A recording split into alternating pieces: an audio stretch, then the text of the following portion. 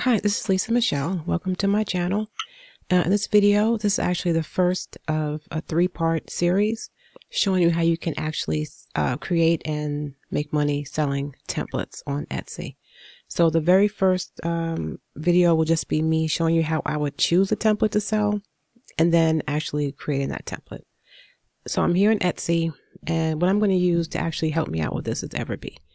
All right, it's, there's a Chrome extension. Um, there's a free version of it. I'm not sure how much you can do with the free version, but there is one if you want to just check it out and see if that will help you out.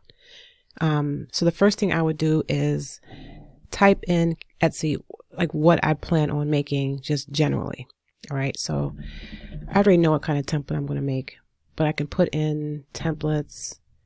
Um, and then you can see it's still populating giving me an estimate of how many monthly searches there are for that particular keyword.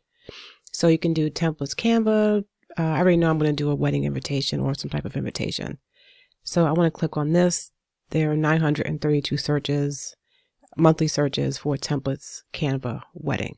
But if you didn't want to do a wedding invitation, you can just do templates um, or invitation. The way you would think a customer would type it in. That's how, that's what you would put in the search bar. So if you think people would search for invitation templates, you would do that. So just click on it, and then just to get an idea of, um, you know, how many results come up and what is actually selling the best. So I'm not taking any of these ideas. I just want to see what type of invitation is actually selling best on here. So you've got this one. Um, it's a first birthday invitation. This one's another one turning one. Uh, Halloween. Yeah, I wouldn't want to do a Halloween invitation right now, I don't think. Uh, what is this for?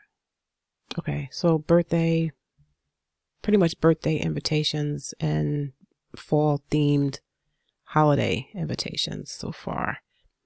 Yeah, this is a Christmas invitation, Christmas party, I guess, invitation and yeah, it's a Halloween party. So, all right, so I'm, I think I'm going to maybe just stick with either a birthday or wedding invitation.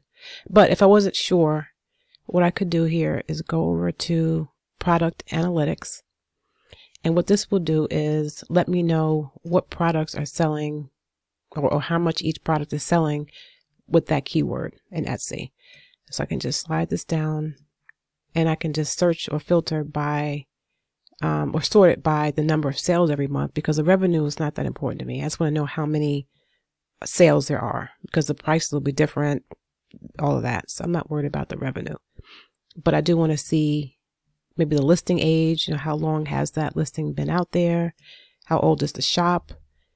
Um, how many views are getting, reviews, all that kind of matters.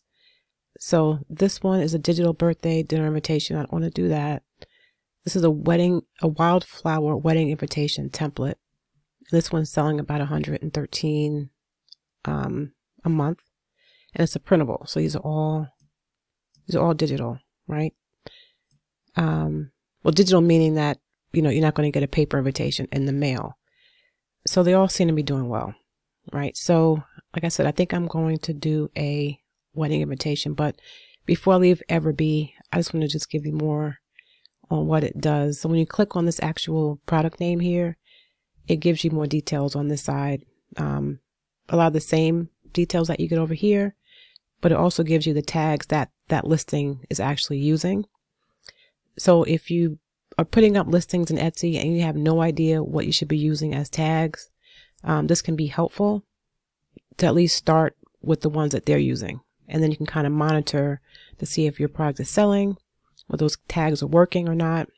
And then you can adjust it that way. But um, that's a good way to just kind of get an idea of what tags to use. All right, so I know that I'm doing an, um, an invitation. So I'm going to go ahead in Canva and create a um, five by seven um, invitation.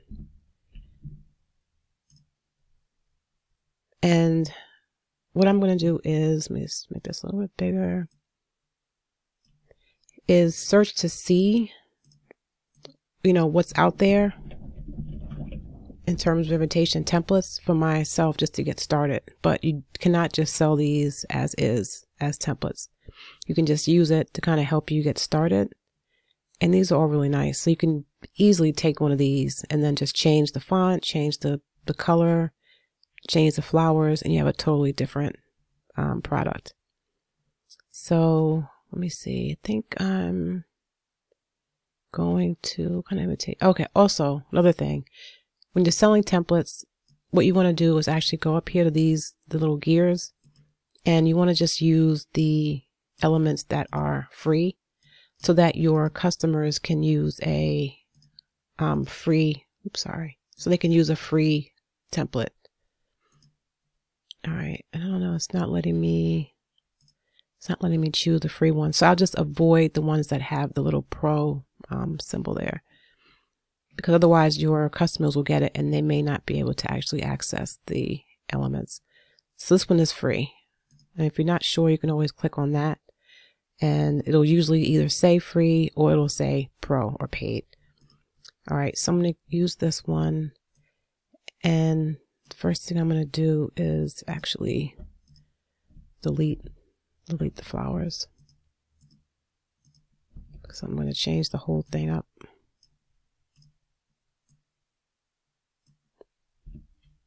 But it's a good way to get started. So I don't have to type, you know, all that in. So that's a big help. Start with a template. Okay. All right, so I'll just leave the background like that. All right, so the first thing I want to do is, I think just add this box here.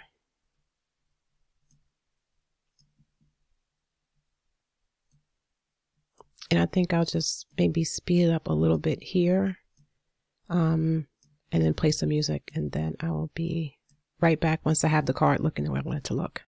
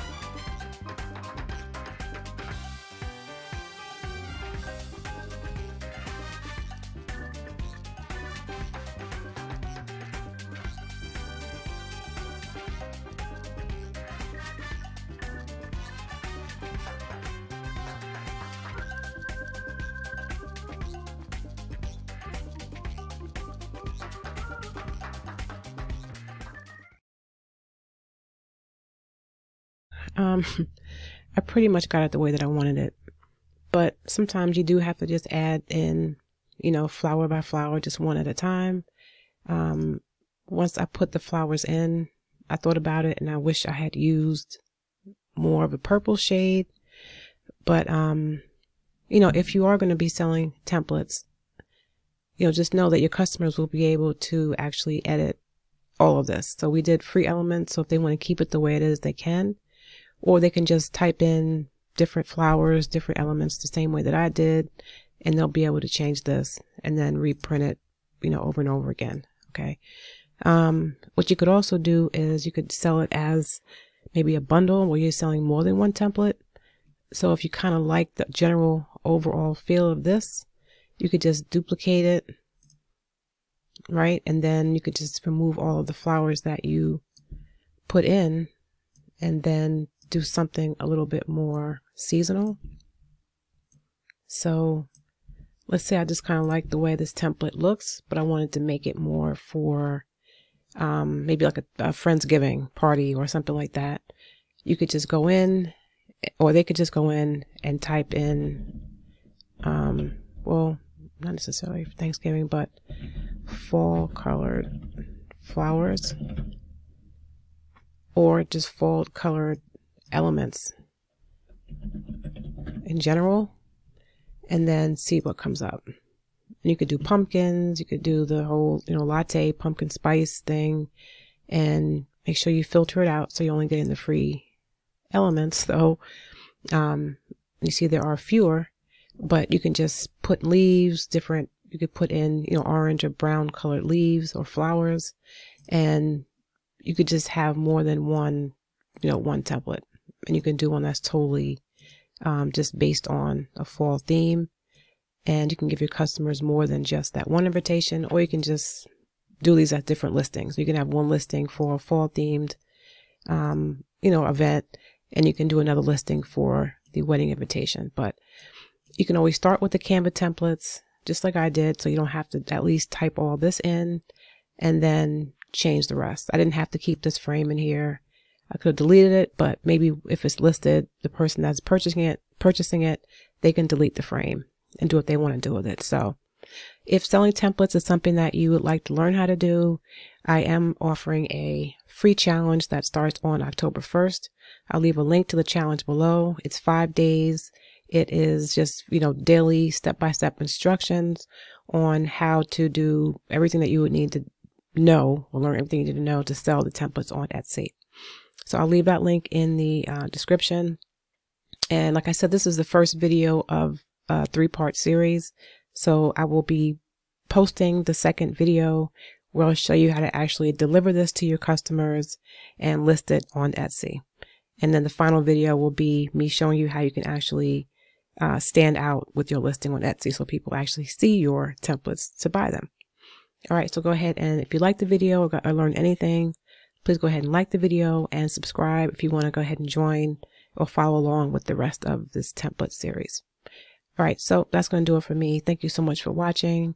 And until next time, peace.